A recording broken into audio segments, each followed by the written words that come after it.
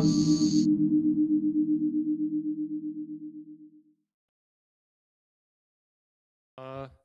okay, so uh, welcome everybody to today's uh, K-OS seminar.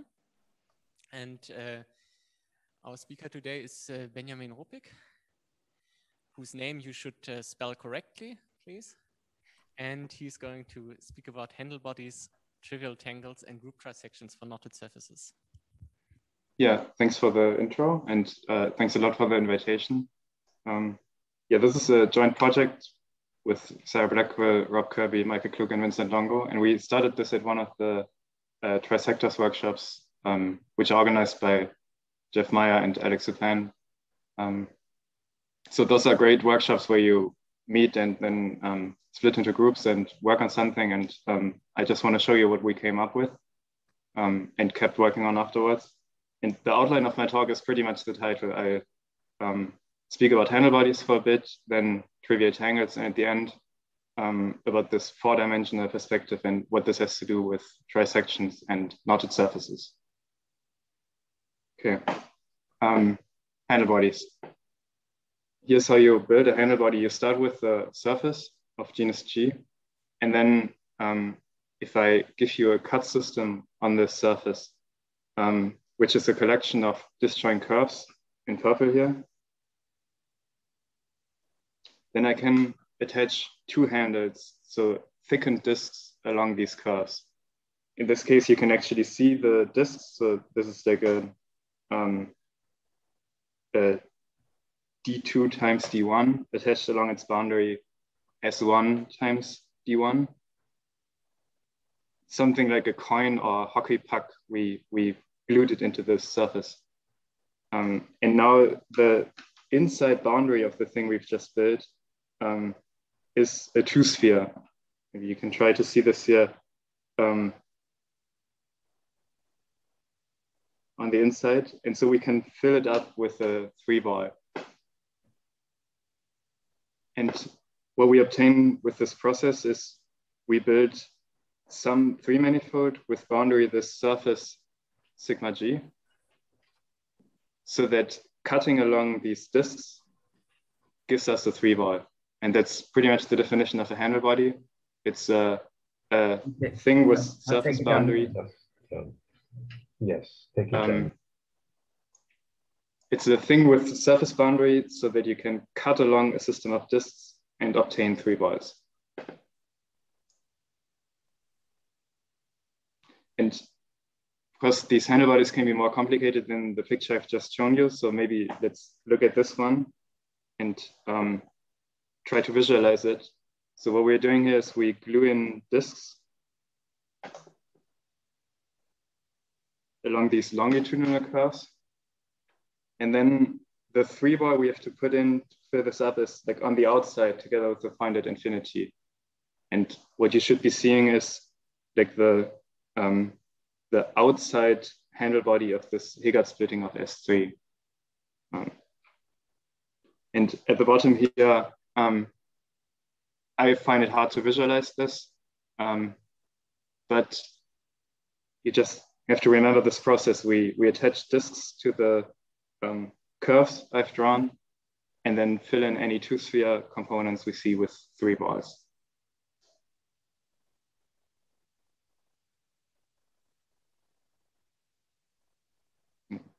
Um, so this was the warm up. Now let's look at more complicated handle bodies. This is um, yet another genus 2 surface um, with two embedded curves on it. And I've drawn them in slightly different colors. So this delta 1 is in purple and the delta 2 is in blue. You'll see why I do this in a second. Um, but um, yeah, let's just stop for a bit. And I, I, I hope I'm not elaborating this point too much, but what this picture means, it's Start with the surface, attach disks, thickened disks along these curves, and then fill in any holes you have with three balls. Um, okay. So those are the main characters in our story, these handle bodies. Um, and now this talk will be about an interplay between topology and algebra. Uh, in particular, what we'll see is that in this case, the algebra guides the topology or knows a lot about the topological situation. So what I mean by algebra is this handle body topological object, um, I can associate a group homomorphism to this, um, which is the induced map on pi one from the inclusion of the boundary surface into this handle body. For example, here the boundary surface is a genus two, um, two manifold, and I can find generators for its pi one. So in this case, let's say I've picked like the symplectic basis for um, of curves on the surface, x1, y1, x2, y2. And I can calculate or see where these generators on the surface map to in pi one of the handle body we've just built. So such a handle body always has pi one, a free group, um, because a different way of describing handle bodies is you start with a zero handle and then you attach one handles to it, each one handle giving a free generator for pi one.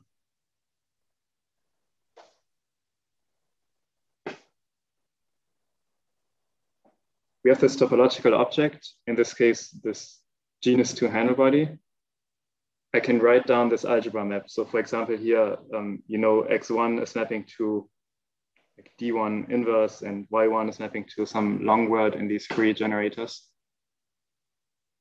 And so the surprising fun fact is that this algebra determines all of the topology.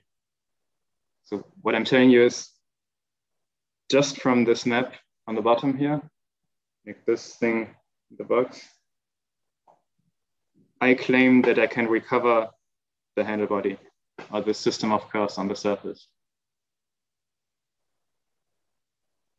Um, so this is a good point to ask for questions and um, because this is the setup we'll be working in and um, maybe I can clarify something right now. Rushed over. Yeah, so just to make sure, you always assume that the curves on the surface, they're non-separating, right? Yeah, um, you can have separating curves on the surface in a cut system. Maybe maybe I flip back. Yeah, um, but the only thing this will do is you will, um, for example, if you have this one here, um, if you fill this up with a disk, then you just get an additional stupid three ball in here. That's um, not always the case, right? You could have like the one, imagine the curve that separates the two, like the two halves of your surface. That's a separating curve. Yeah, yeah. exactly. Um, but then again, what this would just do is it, it would cut one of the three balls into two three balls. Um, and so um, it doesn't really matter for the object you're describing. Yeah, sure. I just wanted to know what you meant exactly by a system of curves. So it's a collection of yeah. non-separating curves that are in the correct number so that uh, they give you uh, like. Yeah, um, yeah, exactly. A different perspective could be it's a collection of curves so that surgery of the surface along these curves gives you a disjoint union of two spheres.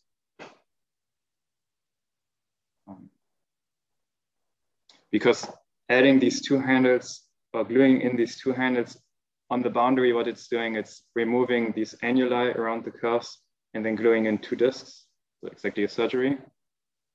Um, and you want to have enough curves so that the genus of the surface has been reduced to be a disjoint union of genus zero things. Yeah, thanks. Okay. Um, okay. So my setup is I'm I'm I just continue now. So my setup is I have this map from a surface group to a free group. Um, I have the surface as my stop sign and um, now I want to recover these curves on the surface inducing this map. Um, okay, here in this corner, I've just um, written down the map again with some sign conventions and color conventions because um, the two different two handles from earlier corresponded to these two different generators. Um, all right, and um, now let's try to find the curves. So the first step in this process is this map here is a homomorphism, which means that this surface relation on the left holds true in the image of these generators in the free group. So the surface relation is like a product of commutators is trivial. And if I write down this product of commutators in the free group with the images, then this long word is trivial in the free group.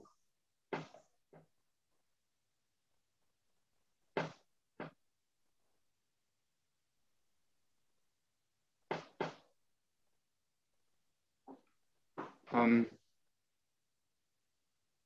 okay, so um, we'll use this property that this word is trivial in the following way.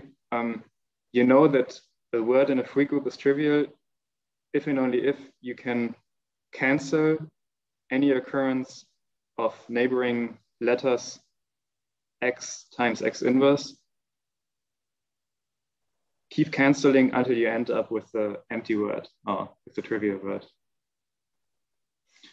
And now whenever I do such a cancellation, I try to realize this cancellation geometrically in this picture where I've um, started by drawing these like tiny pieces of the curve intersecting um, the boundary exactly how the image is telling me. So for example, here, we know y1 maps to this product in the free group. And now I've drawn these tiny starting segments here um, according to how this intersection should happen.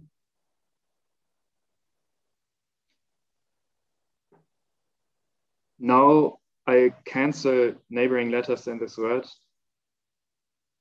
And whenever I do such a cancellation, I draw in geometrically this arc connecting the two segments which are canceled.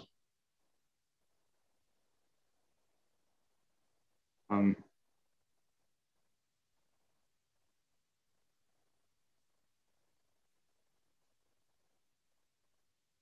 let me just do another cancellation. So I for example, this D1 here cancels with this D1, where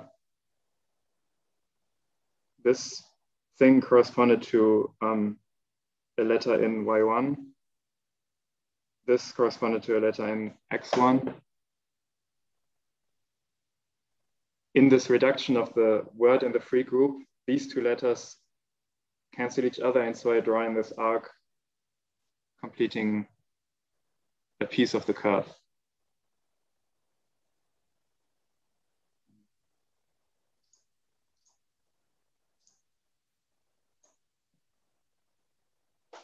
But I mean, a priori, uh, I don't know if this can really happen, but uh, um, a priori, sometimes you have choices, right? You have uh, maybe if you have a D1 minus one, D1, DI minus one, yeah. D1, then uh, in principle you have choices. Um, yeah, um, that's a very good point. And um, the thing is, the choices don't matter. Um, you can do these cancellations however you want. You know from this property of a free group that however you do the cancellations, you always end up in the trivial word, which means all of these initial segments will be joined up at the end. And then you're right that um, different cancellations might give you different cut systems but the handle body described by the cut system is unique. And the proof of this uniqueness is a direct application of Dehn's lemma. Dehn's lemma tells you that whenever a curve in the boundary of a three manifold is null homotopy in the three manifold, then there exists an embedded disk bounding this curve. And you can use this to show that the two handle bodies, however we constructed them, have to be homeomorphic. Thank you. Um,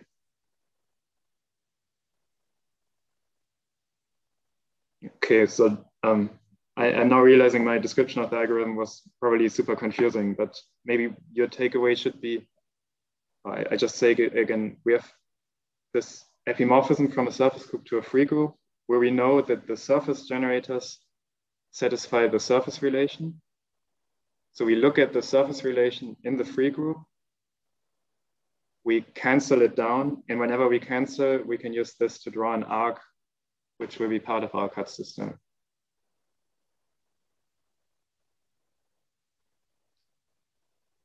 Um, this gives you a way of going from algebra to topology. And here's a kind of summary slide. This is what we just proved. It's that any epimorphism from a surface group to a free group is realized geometrically by a handle body. And this word uniquely is what I just said um, in response to the question about uniqueness of cancellation uh, a Dehn lemma argument tells you that this handle body is uniquely determined by the map.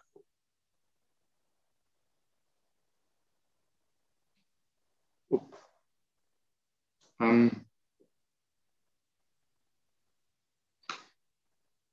this result is actually really old. It's I would call it a folklore result because um, we didn't find an original source for this, but I still want to present you like the standard proof that you find written down in many places.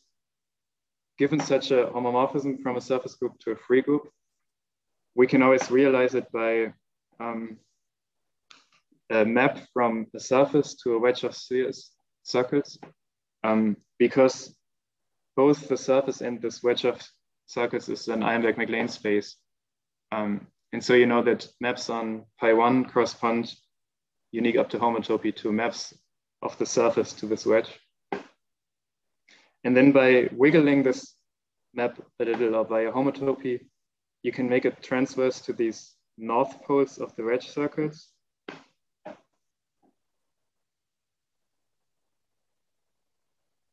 And then the preimage of these north poles will be a one-dimensional submanifold of the surface. So a collection of curves um, and now this is kind of circling back to Jose's question from earlier. Um, you could see too many curves in this pre-image. So there might be parallel curves like this, or like a separating curve like this. But with a little more work, you can prove that this pre-image always contains a cut system. You, so you can always throw out unnecessary curves. Um, And so now circling back to this, um, this is our first contribution in this project, or at least we, I, I claim that, the, that we, um, that we came up with this algorithm to actually do this process and not just this abstract argument with the um, realizing it by a map and pre-image and so on. So um, with this cancellation process, we can realize these epimorphisms as handle bodies in an algorithmic way. Um,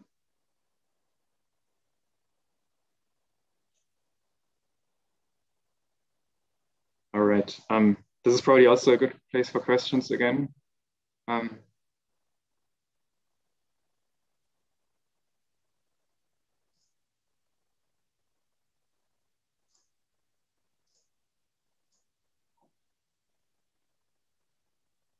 otherwise I'd go on and um, as a short aside, why am I talking about handle bodies so much? Um, if you, well, I'm pretty sure if you're a low dimensional topologist, you know that three manifolds and four manifolds, we can always cut them into handle bodies. And then the magic or the information is contained in how these handle bodies are glued together.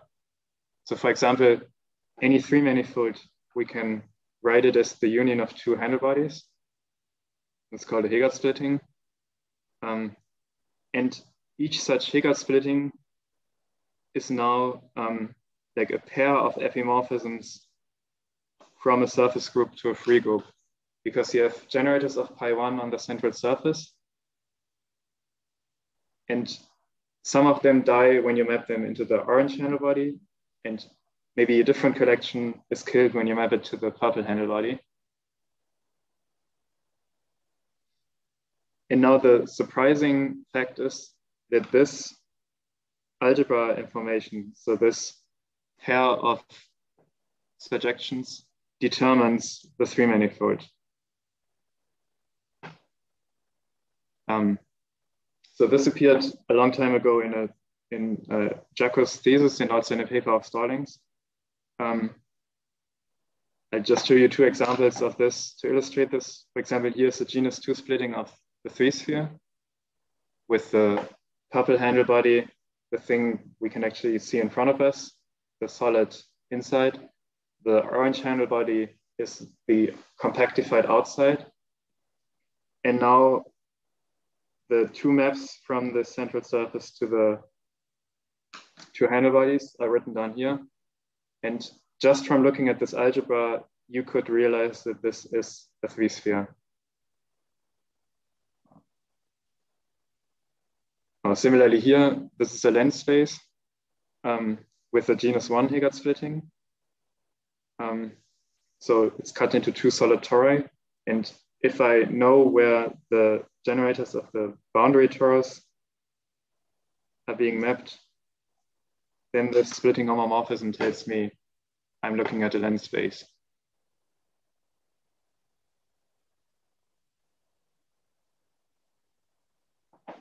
And so this is a theorem of Stallings and Jaco that the collection of parametrized Heegaard splittings of a manifold corresponds in a one-to-one -one way to these group bisections or splitting homomorphisms.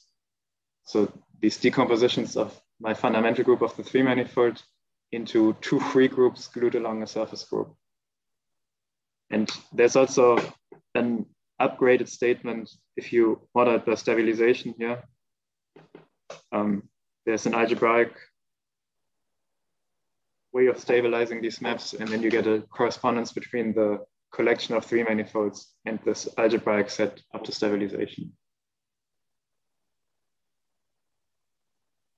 But um, may I ask if so? Is it is it easy to actually uh, when whenever you have a pair of two such things to know if I mean of the algebraic setting to know yeah. if there are I mean stabilization is is it like uh, algorithmic? Uh, can you mm, um, can you say a word about that? So the problem is hard because um, you you have to make this into an equivalence relation by saying you can stabilize and destabilize. And so given two splitting homomorphisms, um, it's really hard to prove or disprove that they are the same because it could be that you need to stabilize it first and then destabilize a bunch um, to arrive this result.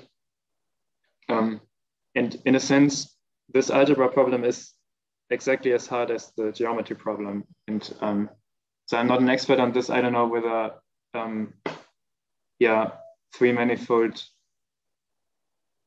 recognition is algorithmic. Uh, I, if I hand you two Heegaard splittings, can you algorithmically determine whether they are of the same three manifold?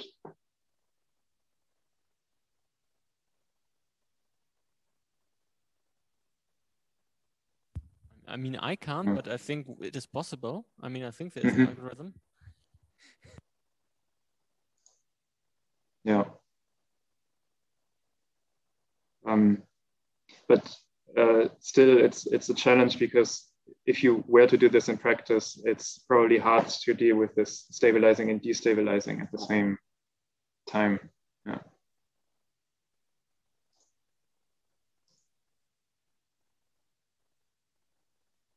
Okay, so the plan for the remaining 35 minutes is to move up one dimension and uh, recall the story for four manifolds. Um, because due to um, Dave Gay and Rob Kirby, we know that four manifolds can be trisected and so be described as um, three handle bodies meeting in a specific overlap pattern. And then at the very end, I, I come back to what our project was originally about, um, because we were trying to generalize this to the relative setting of a bridge trisected surface inside of a trisected four manifold and um, see how these splitting homomorphisms and group trisections work in this setting. All right, so um, a group trisection is the four-dimensional analog of the splitting homomorphism, where instead of having two epimorphisms from a surface group to a free group, now we have three. You can maybe see this tripod here. I have a red, red epimorphism, a blue and a green one. And we also need to put a further condition on this. Um, we require each pair of these epimorphisms to push out to a free group. Um, so I, I, have these two free groups being glued along a surface group. Um, in principle, this could give you lots of different kinds of groups, or three manifold groups, for example. Um, but in what we're doing, we always want these pairwise gluings to give us free groups again. Um, all right, and now I'll tell you how this tripod of epimorphisms constructs a four manifold. And it's pretty much just the handlebody story three times. I have this red epimorphism, which by our earlier folklore theorem tells us that there's a red handlebody realizing this epimorphism. So what I do is I take my central surface, I thicken it up a bit to be four dimensional. So I just cross it with a two disk. And then I tack on this red handle body to like the top.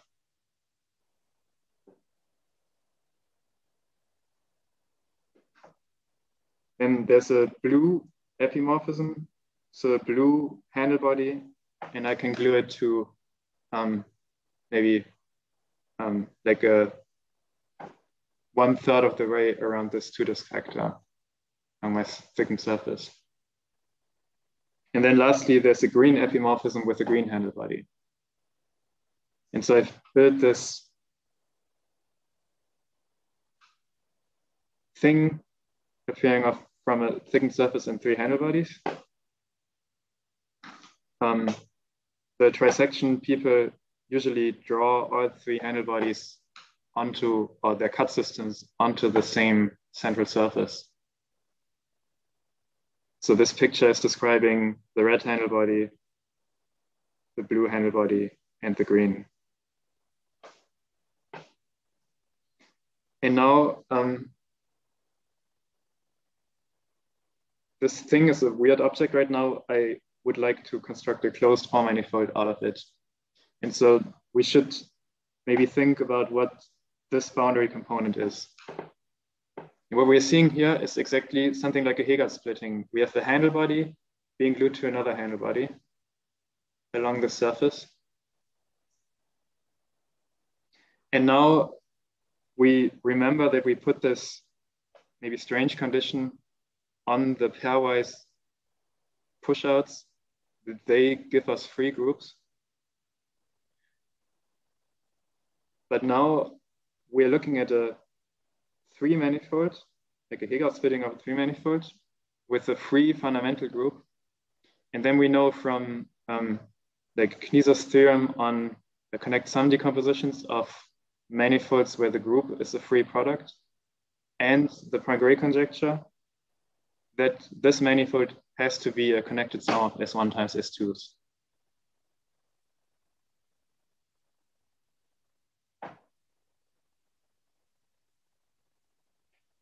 And whenever a four manifold topologist sees this manifold, they immediately call upon this theorem of Laudenbach-Poénaru that we can fill it in with a four dimensional handle body uh, with the boundary connect sum of S1 times D3s.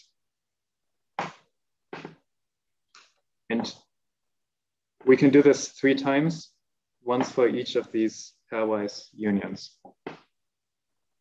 Um, And in the end, what we've built is a four manifold whose decomposition of pi one corresponds exactly to this cube or this group trisection we started with. Um, and this is the big result in this paper of um, Dave Gay, Rob, Rob Kirby, and uh, Aaron Abrams, that the trisections of a four manifold are in one-to-one -one correspondence to the group trisections of its fundamental group. And again, there's a way of modding out stabilizations both topologically and algebraically.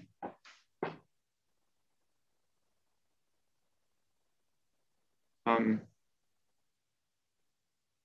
so in theory, studying four manifolds is group theory, but it's really hard group theory. Um, and I should have said smooth at some point. So all of this only works for smooth four manifolds because this whole trisection um, business depends on things being smooth and Morse theory working. Yeah.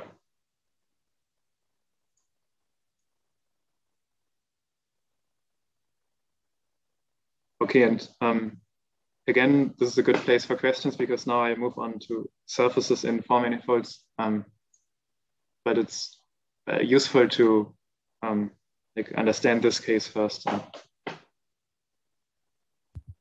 Yeah, so uh, sorry, Ben, maybe you said this, but trisections modulo stabilization, is that just the uh, up to, uh, is that just four manifolds up to diffeomorphism?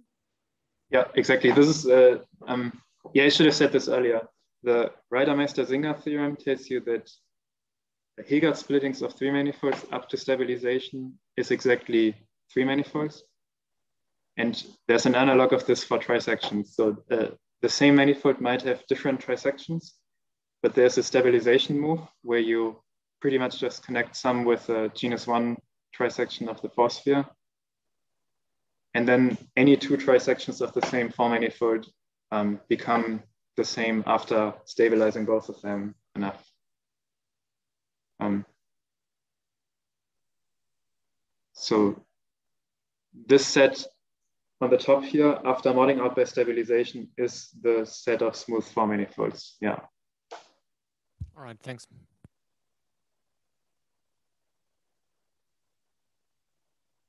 So this doesn't this have an like a far-reaching implication for just finitely presented groups because any group is the fundamental group of yeah. a class four manifold. So it means that every group, like every finitely uh, presented group, is a trisection in a unique way up to some stabilization procedure that you didn't. Uh, no, it isn't because the different so a group can have different group trisections corresponding to different four manifolds. So for example, there are simply connected manifolds like CP2 or S2 times S2, which are not the same. And those give you different trisections of the trivial group, even after modding out the stabilization move. Thank you. Yeah, that's a good point. Yeah. But um, you, you just mentioned a, a, a, cool fun fact. Every finitely presented group um, appears as the fundamental group of a four manifold. And so as a conclusion, every finitely presented group admits a group trisection. And just from the algebraic thing, this, uh, I don't know how you would prove this. some of the proof goes through the geometry.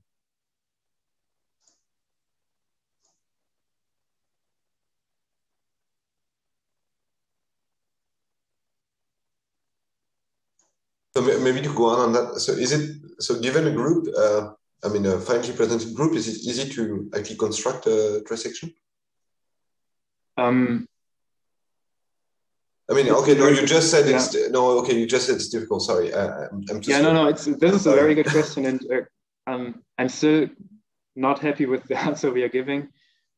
The best process probably is you realize the group as a four manifold. There are various ways of doing this. You can um, like build a handle body, realizing the group presentation and double it, and then you have a four manifold. and then you trisect this four manifold, and then you write down its group trisection. So it's a very roundabout way. Yeah.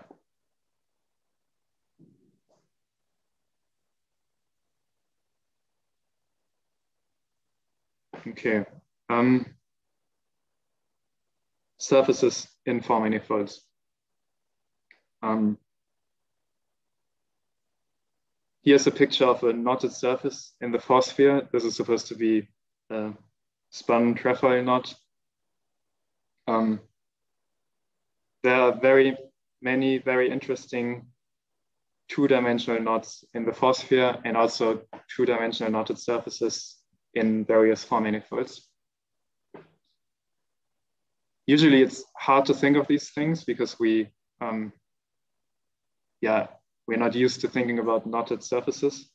Um, but there's a cool way of um, representing them in so-called bridge trisected position. And this was invented by um, Jeff Meier and Alex Zupan, where um, you just hand me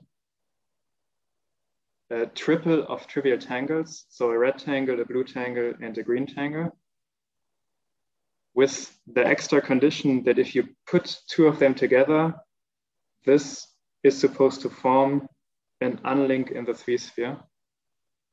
So just like here, if this red tangle, the blue tangle, putting it together gives me an unlink. Because then I can make this unlink bound a collection of disks in the four-dimensional sector um, that is like coming out at us in this picture here. Um, and if I find such a triple of trivial tangles, so that each of these pairwise unions is an unlink, I can fill in each pair with disks. And then this whole thing tells me how the disks fit together to build some knotted surface thing.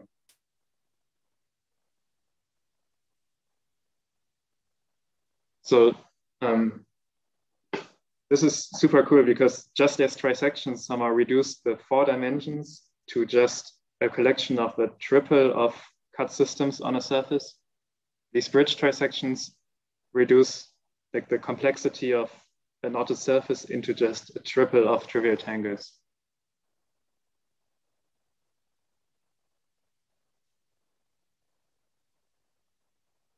And um, just as I started my talk talking about, or talking a long time about handle bodies, now I talk 10 minutes about trivial tangles, the ingredients in this bridge trisection.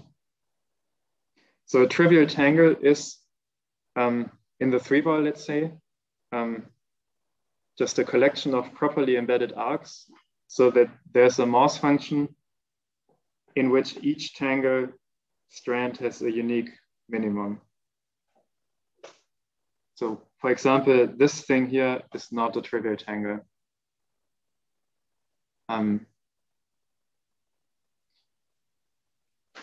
we like trivial tangles because you can push them onto the boundary sphere and then just represent them with a so-called shadow diagram. Um, so like this collection of dots together with arcs um, is a faithful representation of this trivial tangle. And now this is an exercise. Um, if you take this tangle here and you push the tangle strands onto the boundary sphere, um, you see something like this here. Sorry, you, earlier you said that all not all surfaces in a four manifold can be obtained, uh, like can be described by these uh, triples of tangles. And do you also, yeah. you know also if there is a statement about like any two representations differ by some stabilization sort of move? Yeah, exactly. Um, okay, there is. yeah, there's. I I can't add, add, anything to what you just said. This is precisely the statement. Anything can be bridge trisected and it's unique up to blah, blah, blah. Yeah.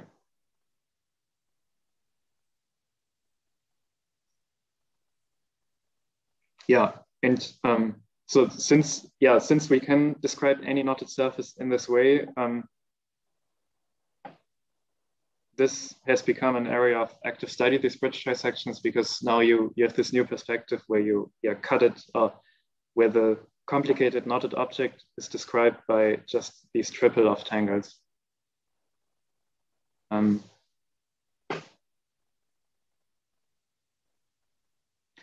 and what I'm going to do in the next five or 10 minutes is I play the same game from the beginning I show you why the algebra determines the topology for these trivial tangles as well. And then at the end, I tell you what this um, implies for knotted surfaces.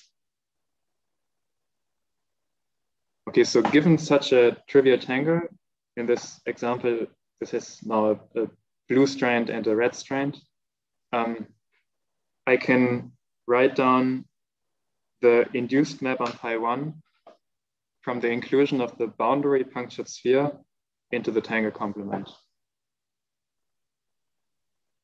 The punctured sphere, its group is a punctured surface group.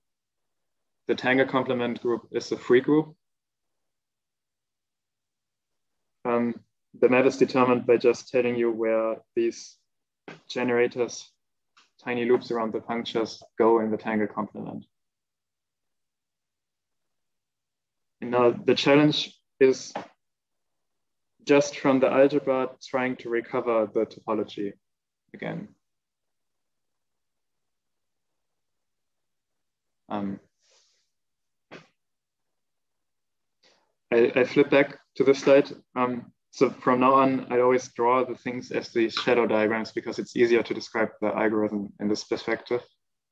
Um, but you should remember that such a shadow diagram represents a tangle in a three ball, just as the cut system was representing the actual geometric geometric thing, the body. And pretty much the same procedure as earlier works in this case here. We have this map in algebra. The surface group had some relation which its generators had to satisfy. So in the image of these surface generators, this relation needs to be satisfied as well. And whenever we have a relation in a free group, we know that we can um, just cancel it down to the trivial word.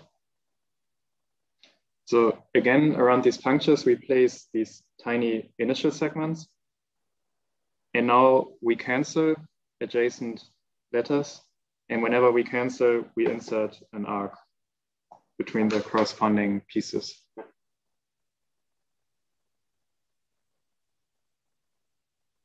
Um, cancel, and at some point you'll, you'll be done with the cancellation.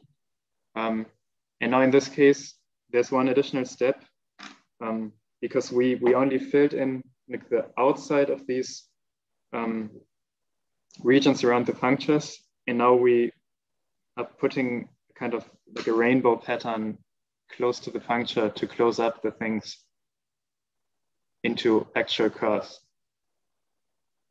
Um, okay, so far so good. This is giving me some collection of curves on my surface. But then we ran into an additional problem because what we actually want is a shadow diagram. So a collection of arcs connecting um, different punctures. But as you might see in this case here, what we ended up with is some weird closed circles in this picture. Um, yeah, uh, about that, um, when you yeah. said uh, I mean, in this um, in this diagrams, you didn't. I mean, you didn't say explicitly that you didn't want some close connected to uh, component. So, are you? Is it allowed? Yeah. Uh, so, exactly, it's not allowed to have this here because there's no geometrical interpretation of this. Like right now we are talking about these trivial tangles. So those are like properly embedded arcs. And if you push them to the boundary, you'll still okay. get just arcs. Yeah. So this is bad. And at this point we were like, uh, I don't know, desperate. Uh, we thought uh, none of this is going to work. Um, but then we realized that we didn't use one property of our situation, namely that this map here is surjective. So this is an epimorphism. And so this was saving us and everything is working out now. Um, and along the way, we, we learned about an interesting procedure called Stallings folding. Um, apparently this is something geometric group theorists study, studied a lot. This is a procedure for proving that a given set of words in the free group actually generates the free group. So for example, if I hand you like this collection of four words in the free group XY, how do you calculate or prove which subgroup this spans? Um, and the answer is use the Stallings folding algorithm where you draw a wedge of circles, each circle being labeled in segments according to the word. So for example, here, this word y, x, x, y, x inverse, you, you draw the circle labeled segments along this word. Um, and then you fold two edges onto each other whenever they are incident and have the same label. So for example, here, um, I have these two edges both labeled Y being joined at their feet, and then I fold these together. And there's a covering space argument which tells you that if this process of folding terminates at a wedge of, in this case, two circles, then the words you started with generate the free group.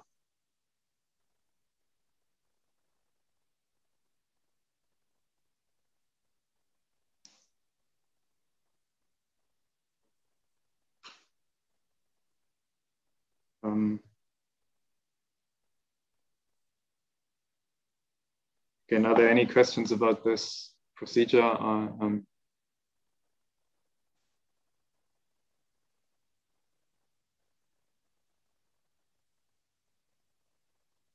okay, so this is something like linear algebra over free groups, only that it's not linear. Um, you have to use these tricks. Um, all right, and so this is the last step in our whole um, story or process. It's if there are any closed circle components in the preliminary diagram we came up with. We run this Stallings folding algorithm. Um, and whenever we fold two things together, which should belong together in the preliminary diagram, we insert a band sum. So I'm banding together an arc with a closed circle. In the end, I get just an arc where this closed circle has been joined in and the closed circle kind of disappeared or it was swallowed into the arc. Um, and now, when you've done all these band sums, what you end up with is an honest to God shadow diagram, realizing exactly the map we wanted to realize.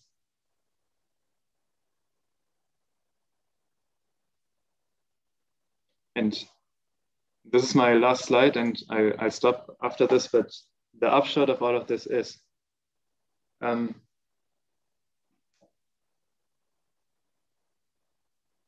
if I hand you these epimorphisms from the punctured sphere group to a free group. I can realize them by these trivial tangles algorithmically. And then I can put pairs together.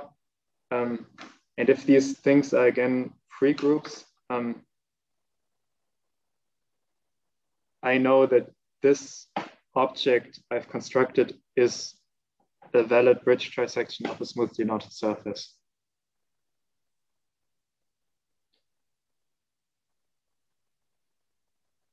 And this gives us now a one-to-one -one correspondence between bridge trisections of smoothly knotted surfaces with group trisections, specific group trisections of um, the fundamental group of the surface complement.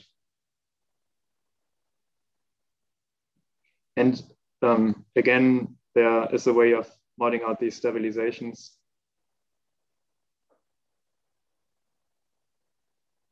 to get an honest statement about surfaces.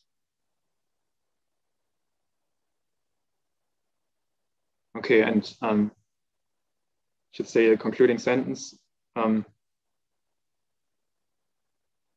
this process shows that in theory, studying bridge trisections of knotted surfaces is an algebra problem, but the algebra problem is probably way too hard to actually solve. It's, it's more a translation and a curiosity, but I don't think that anyone would start working with these cubes instead of the actual surface. Um, but it's nice to see that this group trisection business, which worked for closed four manifolds, also works for surfaces inside of four manifolds. Yeah, and so thanks a lot for listening, and I'm happy to discuss any of this. Um, here's just a, a list of references um, maybe in chronological order, the three manifold story and then the four manifold story.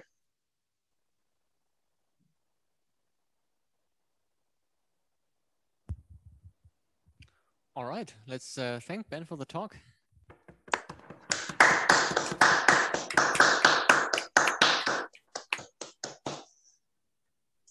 By questions.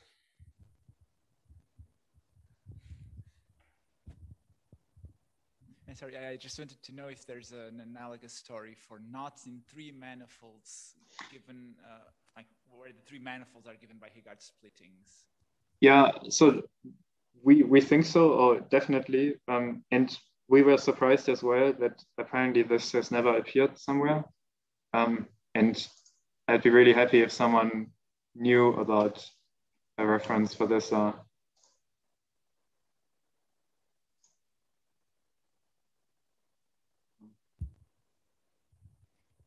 maybe I can comment on that. Uh, isn't mm. just Hopf plumbing with fibered knots an example of that?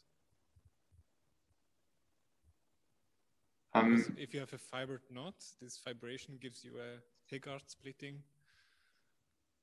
Um, and plumbing a Hopf band is, uh, is, a, is a stabilization, basically.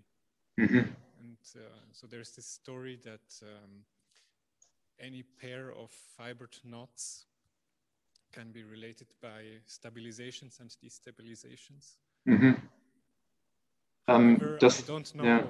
You know, if you want to get rid of fiberedness, then I don't know if something like that still holds. Yeah, um, does this Heegaard splitting determine the knot? If I think the fibration.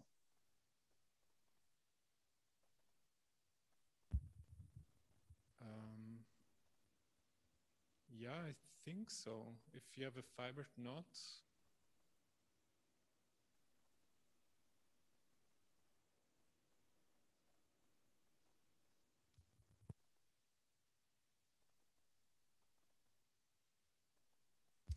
Yeah, so you take two opposite, you, you have this fibration map from the complement of the knot onto S1 and then you take the fiber of the, you, you think of the, of the S1 as S1 in the complex plane.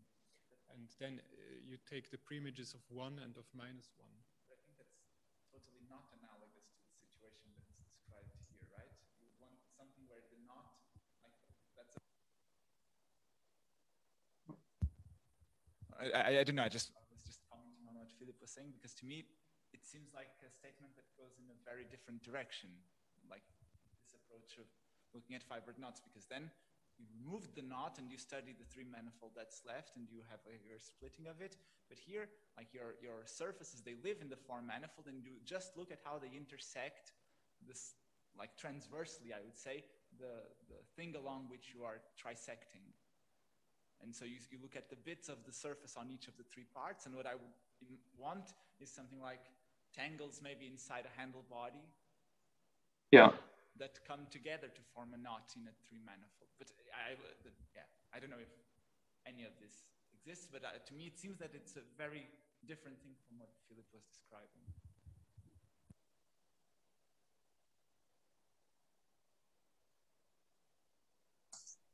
Well, I think, may I ask another question? Uh, yeah, sure. Which is basically the same question as I, have been asking the whole time. I mean, oh, very similar thing. Uh, so, I mean, um, whenever whenever you have this uh, trisected um, uh, groups, uh, so how so whenever you have this cube, how is it to to actually decide if the pushouts satisfy your condition? Uh, basically, that they're free. Uh, mm -hmm. so is it so is it easy to actually uh, do that to to check that you are in the condition you want to be? Yeah, that's a good question. So um, the lemma, so maybe I flip back to this thing here. Um, yeah, so I think here deciding whether this pushout has free group should be algorithmic because three manifold recognition is algorithmic, right? And we're always in the class of free manifold groups. The um, lemma we need for our surfaces story is that given a link whose complement has a free group, then it has to be the unlink. Um, the proof of suggest is again an application of Dehn's lemma, somewhere where you uh, cut the different link components apart by using your algebra thing. And um, so I think your question is equivalent to the question whether unlinked recognition is algorithmic. Um,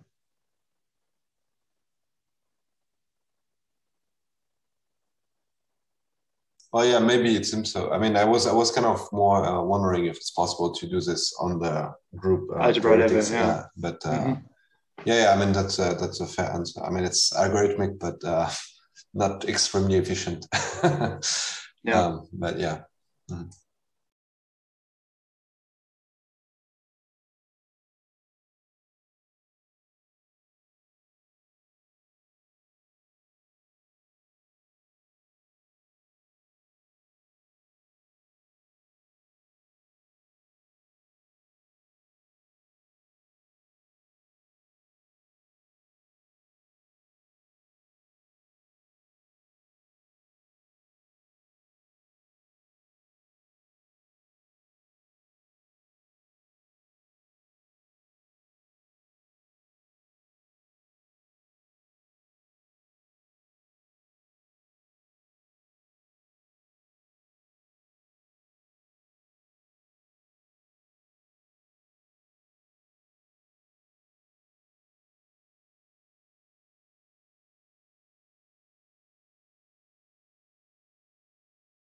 Yeah, I, I don't know about the algebra, but I would expect it to be hard because unlink recognition sounds hard. So yeah.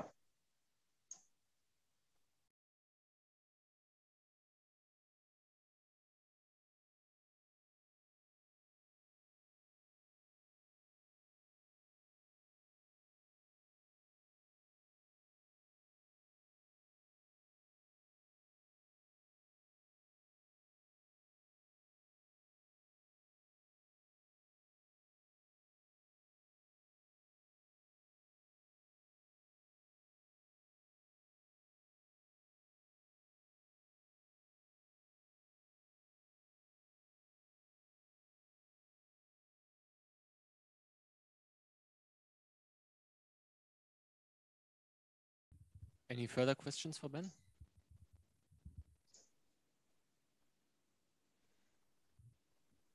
So if not, then let's thank him one more time for his talk.